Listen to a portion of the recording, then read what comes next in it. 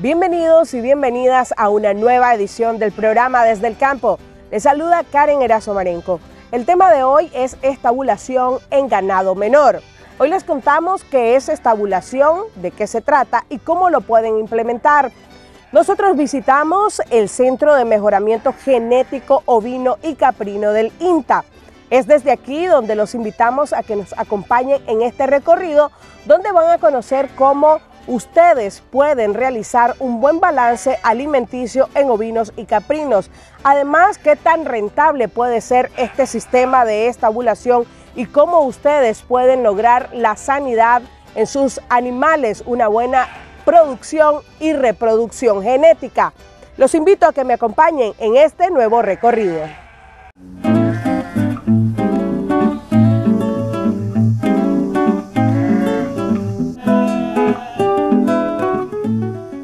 Los sistemas de estabulación son un esfuerzo para mejorar el manejo y el bienestar animal. El Gobierno de Reconciliación y Unidad Nacional promueve estrategias productivas fomentando la crianza y reproducción de especies de ganado menor. Hoy hablamos sobre ovinos y caprinos.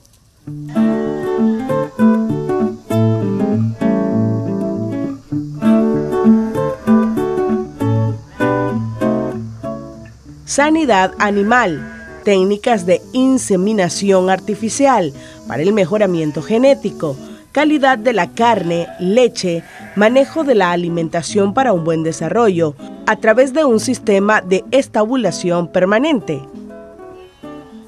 Este sistema, ¿verdad? Eh, cierto que lleva un poco de manejo, ¿verdad? Porque, eh, como ustedes ven, hay que estarle limpiando por lo menos, nosotros le limpiamos los corrales cada tres días, ¿verdad? Tenemos que sacar toda la, cama que tienen, la cama vieja y ponerles cama nueva. Eso, eso requiere de mano de obra. Eh, el momento de picar el pasto, el momento de ir a hacer el corte de pasto, al momento de servirle a ellos su alimentación balanceada, al momento de hacer el concentrado como tal, entonces eso repercute, ¿verdad? Pero, sin embargo, con la ganancia de peso que tienen estos animales y con la producción de leche que nos dan las cabras, ¿verdad? Perfectamente, es decir, es bien rentable. Entonces no, no necesitamos, digamos, de, de grandes recursos para su explotación. Es decir, estos animales, la mayor parte de la alimentación, ¿verdad? Podría decir, un 60% de la alimentación está basada en pastos y forraje.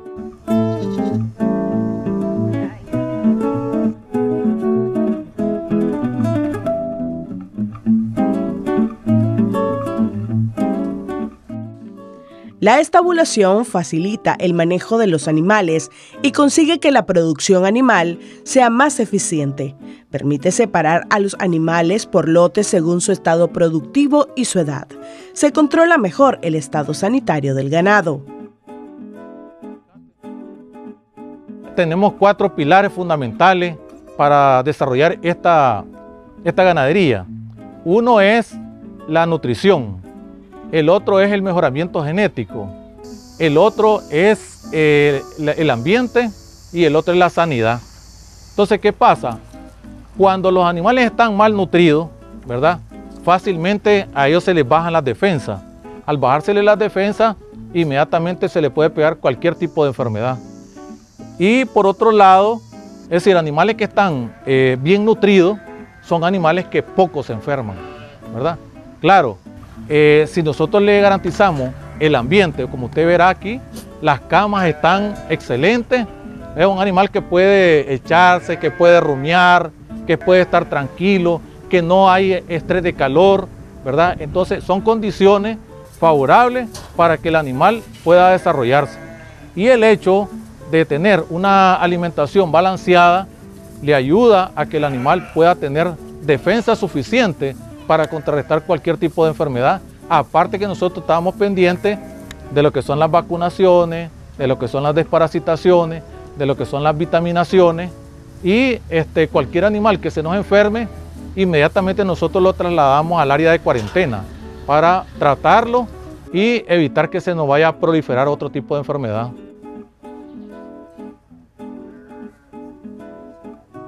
La sanidad animal bajo el sistema de estabulación es importante. Generalmente los animales que tienen la pupila blanca, ¿verdad? Son animales que están enfermos. Ve, un animal que por ejemplo tiene la pupila rosada es un animal que usted dice, bueno, no está atacada mucho por parásitos. Pero ahí, eh, si usted se deja, digamos, pasa el tiempo y usted no la revisa, entonces es un animal que llega al momento de, de que se le bajan demasiado las defensas y cuando mire se muere, ¿verdad? Porque este, usted sabe que en el campo hay muchos parásitos, pues, ¿ve? Entonces,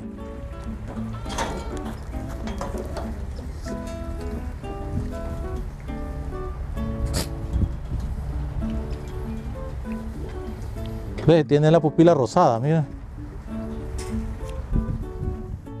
Dentro de la parte de lo que es la estabulación, ¿verdad? Ayuda porque los animales están un poco más concentrados y este, la alimentación, se hace una alimentación bien balanceada. Entonces, esta alimentación está basada en pasto y forraje fundamentalmente. Cuando hay, digamos, un, suplemento alimenticio como el concentrado, ¿verdad? Entonces, esto ayuda a que, ayuda a que los animales puedan alcanzar un poco más de peso rápidamente. Entonces las hembras, por ejemplo, la hembra preñada, pueden desarrollarse un poco más rápido, ¿verdad? Los animales que están eh, en, recría, ¿verdad? También van ganando peso un poco y evitamos el estrés calórico en el, en el campo, ¿verdad? Entonces, en este ambiente que nosotros tenemos acá, es un ambiente donde prácticamente el calor está al mínimo, y por lo tanto ayuda a que el animal pueda convertir más fácil los alimentos. Una conversión alimenticia en ovinos y caprinos es excelente porque su ganancia de peso de ellos les ayuda tanto en la producción de carne como en la producción de leche.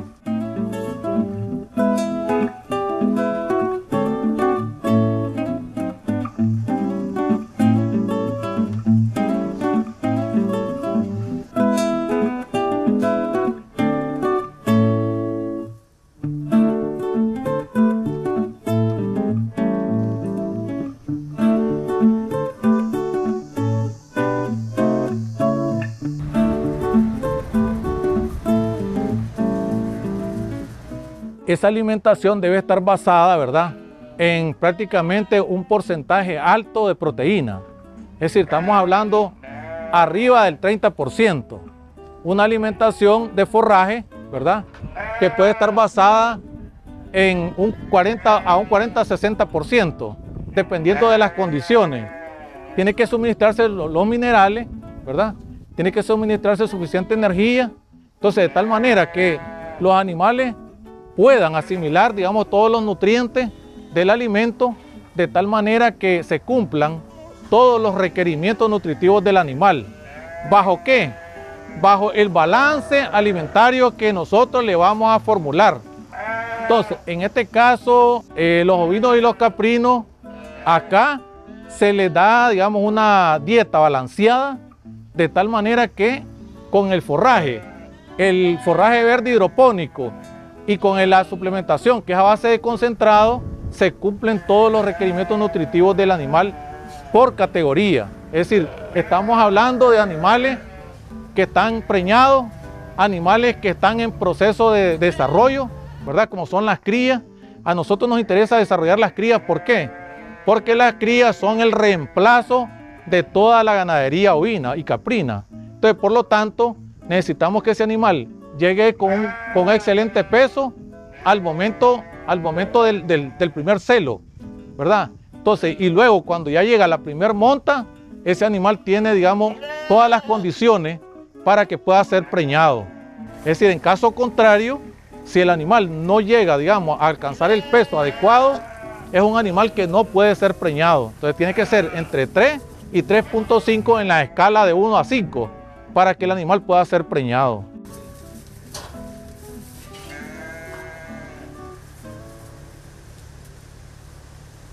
Eh, en el caso del comportamiento metabólico es similar en cabras y ovejas, o sea, ambos son rumiantes. Entonces, por lo tanto, eh, debe dárseles un pasto que no esté lignificado, porque el problema es que si nosotros le damos un pasto muy lignificado, ellas ah, se lo pueden consumir, pero eh, va a salir, va a ser, la velocidad de pasaje va a aumentar. Entonces, por lo tanto, va a salir más en la S que lo que le va a quedar a ella. En, otro caso, si nosotros le damos un pasto, ¿verdad? Que esté adecuado a las categorías de los animales, es decir, me refiero cuando nosotros damos pasto picado, tiene que ser un pasto que tenga menos de 65 días de edad. Si ya tiene más de 75 días, de 65 días, perdón, es decir, tiene 70, 75, 90 días, ya es un pasto que está lignificado y por lo tanto el animal, aunque lo consume, pero no va a hacer uso de los nutrientes que él tiene. En el caso del concentrado, es un suplemento alimenticio que siempre se le debe dar a estos animales para que ellos puedan ayudarle al momento de la digestión de, los alimentos. Entonces, una vez que ellos eh, ayudan con la melaza, el maíz, la soya, harina de maní, harina de coquito, eh, sorgo, ¿verdad? Eh, y maíz en, forma de harina. Entonces lo que hace el animal es que inmediatamente aumenta el consumo de alimento, ¿verdad? Eso ayuda al consumo de alimento y ayuda también en el proceso digestivo. ¿verdad? del animal.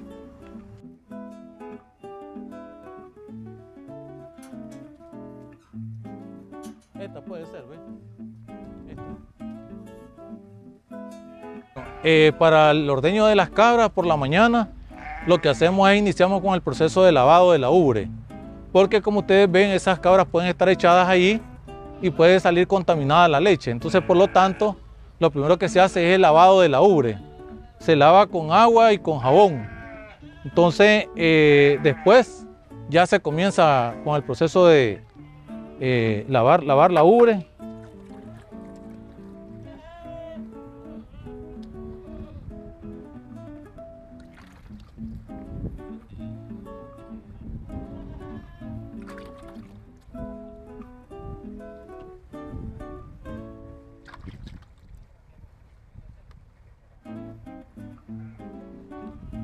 y el, el tarrito. El...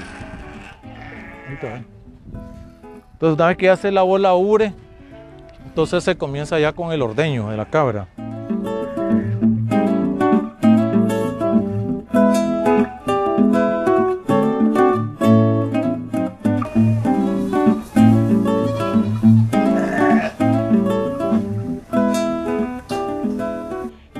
El sistema de estabulación puede obtener no solamente una buena producción y reproducción de ovinos y caprinos, sino que también puede obtener buenas crías como esto. Los invito a que nos acompañen en nuestra próxima edición en su programa Desde el Campo.